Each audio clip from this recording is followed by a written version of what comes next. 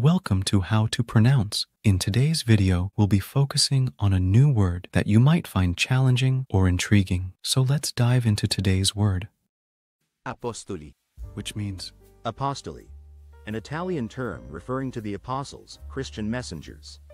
let's say it all together. Apostoli. Apostoli. Apostoli. One more time. Apostoli. Apostoli. Apostoli. Thank you for joining us on this adventure in pronunciation. Remember, language is a journey, not a destination.